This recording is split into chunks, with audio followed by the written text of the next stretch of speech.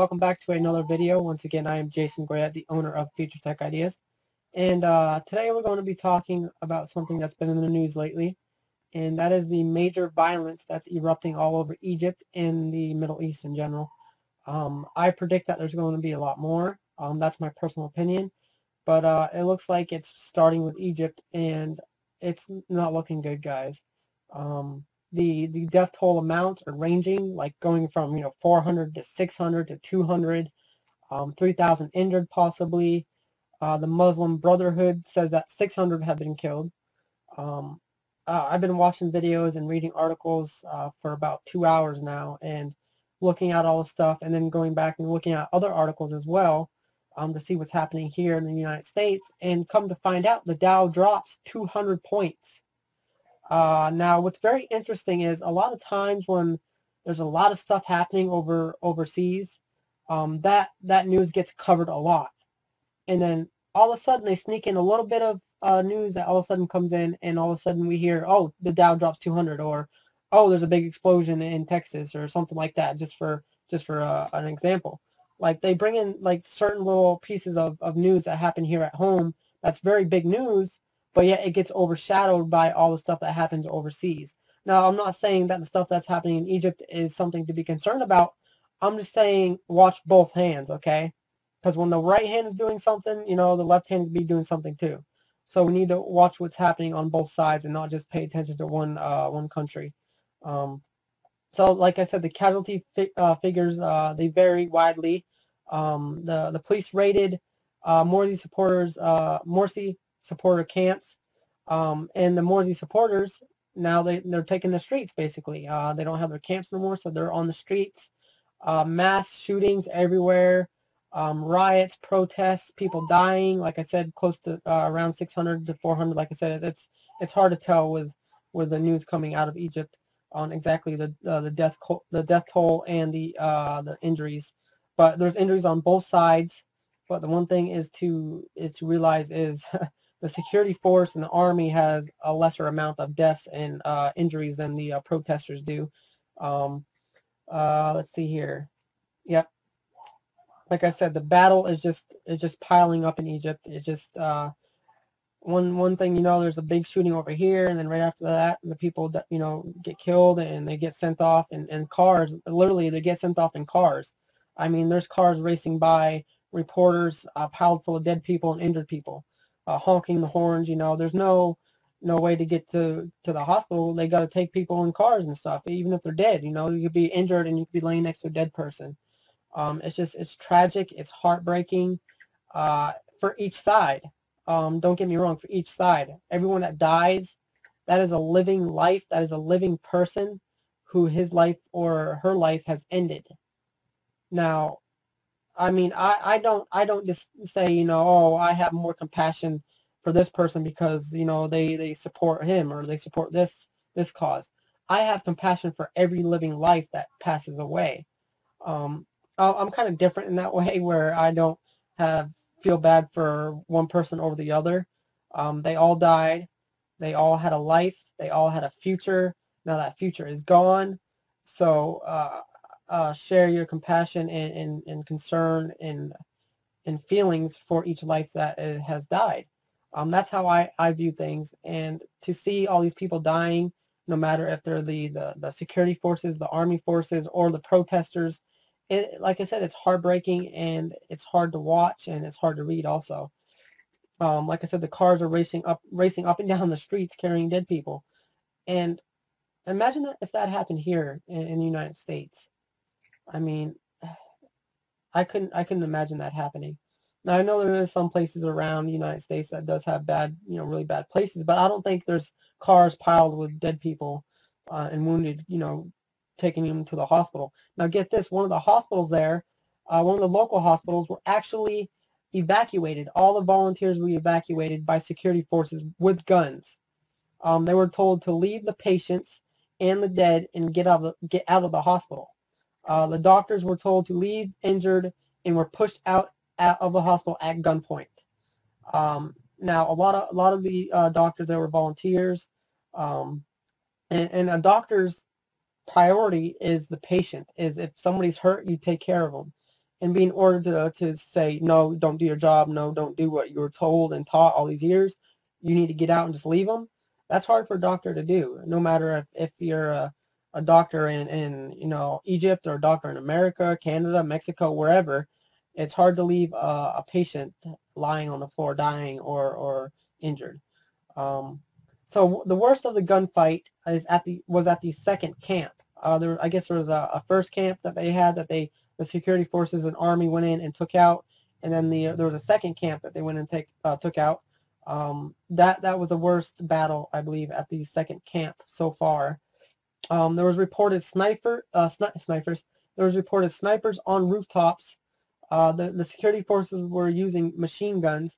Now, I've seen some of the video footage, and there was, you know, like I said, there were snipers on the rooftops. There were security forces using machine guns. But a lot of the protesters were using rocks and their fists and things around them. I didn't see many of the protesters using guns. And that is a hard thing to to uh, grasp because uh, the government's uh, claiming that, you know, they found gun guns and all this type of stuff in the camps. Yeah, they may have found guns, but when I seen the video footage and when I seen stuff you know, going on, there was there was the security forces and army with freaking guns and and uh, and transport vehicles and armor, and then there was the protesters with rocks, and they were claiming the protesters were armed and and armed with what? Armed with rocks against uh, machine guns and snipers and and bulletproof vests.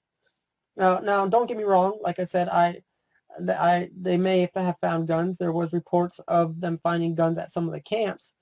But the way things are going, it doesn't look too good for the protesters.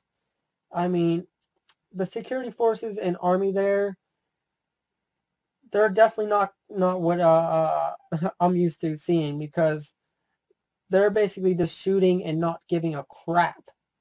Not even not even thinking twice about pulling the trigger on uh, a 10 year old armed with a rock. You know what I'm saying? So I just don't understand it. I don't understand why we're not out there helping and trying to calm things down. Yeah, Obama's speech do the speech and says them orders them to you know or whatever says you know for them to stop and uh, warns Egypt and and you know but we need we have the power to to go out there and help these people but then again you got to say do they want the help that's the thing um, it's hard to uh, hard to help people when they don't want it. Uh, but the way things are going with Egypt, excuse me, I believe they're going to need it. excuse me. Mm, I've been talking all day. Uh, so yes, the uh, but that, like I said, that's that's a claim that the the civilians were unarmed. The civilian protesters were unarmed. Um, like I've seen uh, the video, and all I see was rocks. I did not see weapons um, I seen weapons from the armed forces, but no weapons from the protesters and civilians. Um, now, let me, uh, you know, like I said, the security forces do have dead and wounded, uh, but it's uh, pales in comparison to what the uh, the protesters and civilians have. Um, they have a lot more dead and wounded. Uh, some claims are 3,000 injured and and uh, by now it's probably well well over that. I mean, who knows how many are dead now? But uh, so yeah, Cairo was the worst to get hit by this. Um, hundreds killed in Cairo. State of emergency imposed, along with a curfew, which is at 1 p.m. A curfew at 1 p.m. in, in Egypt. Imagine if a curfew was here at 1 p.m. every day. That would be pretty hard. Um, guys, I don't know what to tell you. Uh, I don't know if this is a sign of things to come or if this is the beginning of the end. Uh, I'm going to go ahead and refer back to the Bible because um, I know in the Bible it mentions that uprisings will, will happen and uprisings are happening now. I mean, Libya had uprisings, Egypt had uprisings, United States are starting to have protests and uprisings. All around the world is starting to happen. So I'm beginning to wonder if it's coming to the end uh, Armageddon's coming, or is it just uh, just a clashing of of people and and uh, civilians clashing with government and uh, the people who think they're above the law, which is security forces and army, police and stuff like that. I do believe they they think they're above the law now. Now, 30 years ago, 40 years ago, no. They did the they did by the book law. They they they knew the rights, they knew the law uh, written out, but nowadays they're just, you know, point and shoot and then ask questions later and oh, you know, we'll go ahead and get paid leave or whatever. it's kind of kind of alarming to uh, realize where we're heading now. So I believe if we don't do anything now, if we don't uh, uh, hold back the urge to kill, which it seems like that's what's happening, is people are just wanting to kill. You know, people are wanting to kill people. Um, I mean, you look at certain places and, and projects around the United States, people die over over uh, boyfriend and girlfriend issues. Uh, people die over calling each other names. Uh, it's alarming because I never felt that. Okay, I honestly never felt the urge to kill another human being. I may have felt the urge to to maybe hit them, but I never acted on that urge. I had self-control over that urge. I may have have wanted to, you know, uh, put them in jail or, or may have felt the urge for that, but I never acted on it because I have, I don't know, I don't know if it's just me, guys. I don't know what's wrong with me, but I have a lot of compassion and a lot of feelings, and I have those right on the surface. So whenever I see somebody hurt, or even if it's a, you know, somebody who's who's uh, obviously breaking the law or obviously doing something they shouldn't, um, being killed over it, I still have that little bit of hurt in me. I still have that feel like com- the compassion towards that person being killed or being harmed. Uh, but there is there's a line where I draw to where I, I draw back that compassion um, when there's you know laws being broke like or you know people killing people for no reason um, and uh, uh, molestations and stuff like that. And then I say, okay, the cops need to go in and do their job. They need to, prosecute this person. Yeah, I'm not going to feel a lot of compassion for that person being prosecuted because he obviously did something extremely horribly wrong but uh, to kill him for just to you know just to kill him, it's like, how can you do that? How can you do that? I could never be in the army. I don't think I could. I could never be a police officer. Although if I was a police officer, I would probably rarely ever fire my gun at a person. Um, if I did, I'd be one heck of a shot because I'd always aim for the legs or the arms, and that's it. I would never just blindly pow, pow, pow, pow, pow, pow, like you see all the time on the damn news.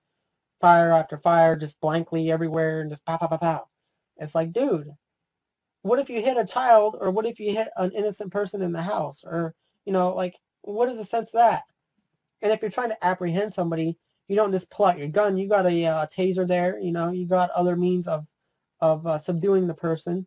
So so uh, use that instead of whipping out a gun and firing 10 rounds at in the direction of the person, knowing not knowing if you're going to kill him or kill somebody that's walking next to him or in in the house. You know, it's it's completely unnecessary, and hopefully, this isn't the beginning of the end.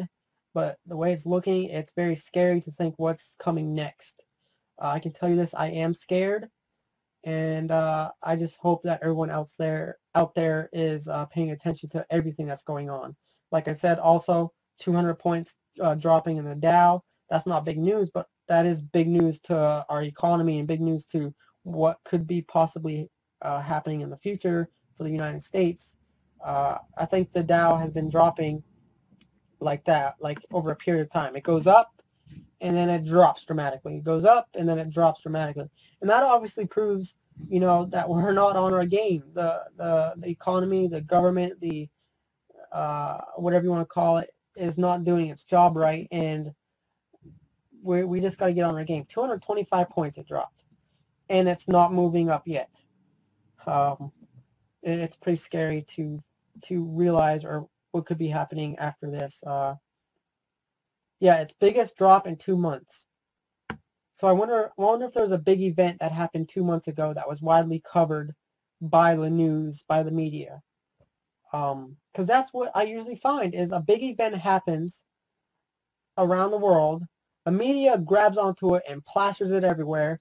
And then all of a sudden they sneak in a little bit, a little article stating, you know, something happened in the United States or or the Dow dropped or, or something happened that is, could be impact us pretty dramatically, but they don't cover it wide enough. They just say, oh yeah, this happened, and then let's move on to uh, the shootings over here. Yeah, there's people dying, but also, you know, you're kind of covering up and putting it putting it on the back burner of what's happening here at home, and that's what I think they realize. I think the government and and the media has realized, you know, we could we could blow up this one thing and then allow this big things to sneak in and nobody really notice it. So I'll provide the link for the uh, Dow drop 225 points, and I'll also provide a link in the description for the uh, the Egypt uh, crisis that's going on. Um, so yeah, we'll we'll have to take a look at it uh, in a couple days and see see how it's going and see if we get more figures on the death toll and the exact uh, stuff that's happening over there. But like I said, it's not looking too good for our future, uh, world, world's, the world's future in general, not just United States future. I'm talking about everybody because uh, stuff like this affects everybody.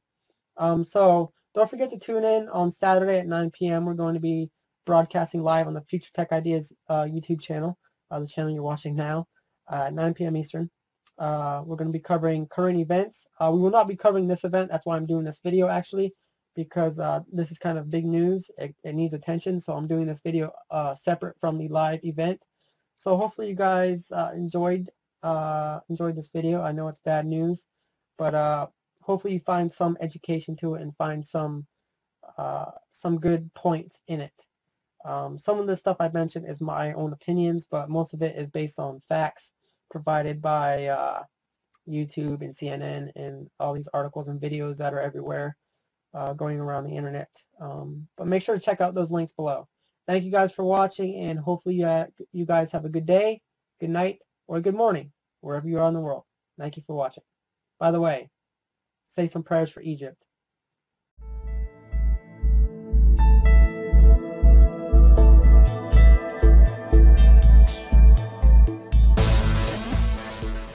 articles uh, for about two hours now, and looking at all the stuff and then going back and looking at other articles as well um, to see what's happening here in the United States and come to find out the Dow drops 200 points.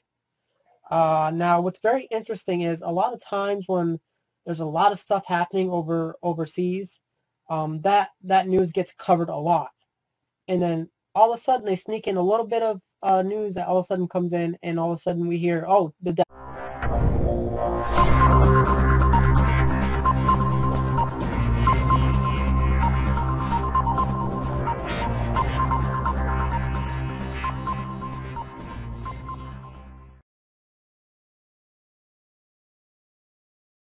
Welcome back to another video. Once again, I am Jason Goyette, the owner of Future Tech Ideas. And uh, today we're going to be talking about something that's been in the news lately, and that is the major violence that I'll just pay attention to one uh, one country. Um, so, like I said, the casualty fi uh, figures uh, they vary widely. Um, the the police raided uh, Morsi supporters uh, Morsi supporter camps, um, and the Morsi supporters now they, they're taking the streets basically. Uh, they don't have their camps no more, so they're on the streets. Uh, mass shootings everywhere, um, riots, protests, people dying. Like I said, close to uh, around 600 to 400. Like I said, it's now drops 200. Or oh, there's a big explosion in Texas or something like that. Just for just for uh, an example. Like they bring in like certain little pieces of, of news that happen here at home. That's very big news, but yet it gets overshadowed by all the stuff that happens overseas. Now, I'm not saying that the stuff that's happening in Egypt is something to be concerned about. I'm just saying watch both hands, okay? Because when the right hand is doing something, you know, the left hand could be doing something too. So we need to watch what's happening on both sides and not erupting all over Egypt and the Middle East in general. Um, I predict that there's going to be a lot more. Um, that's my personal opinion. But uh, it looks like it's starting with Egypt, and it's not looking good, guys. Um, the the death toll amounts are ranging, like going from you know 400 to 600 to 200, um, 3,000 injured possibly. Uh, the Muslim Brotherhood says that 600 have been killed.